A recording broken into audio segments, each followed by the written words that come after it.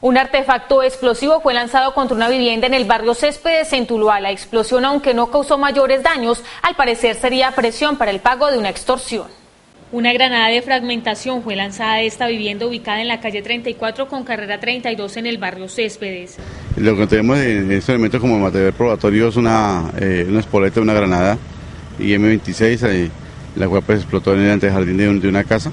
Estamos ya dentro del procedimiento judicial para eh, adelantar todas las pesquisas pertinentes. Las autoridades investigan si fue un sujeto a bordo de una motocicleta el autor del atentado que se registró hacia la una y media. Hasta el momento no tenemos ninguna identificación. El atentado pudo haber sido por presión para el pago de una extorsión. No directamente a la familia, hay una persona que está siendo eh, afectada en una, unas presiones para un pago, una extorsión y en eso ya está trabajando el Gaula. La extorsión ya habría sido denunciada por la víctima ante el Gaula del Ejército. El impacto de la onda explosiva fue mínimo, por lo que no causó mayores daños. Dentro de la investigación, las autoridades verifican si hay cámaras de seguridad en el sector.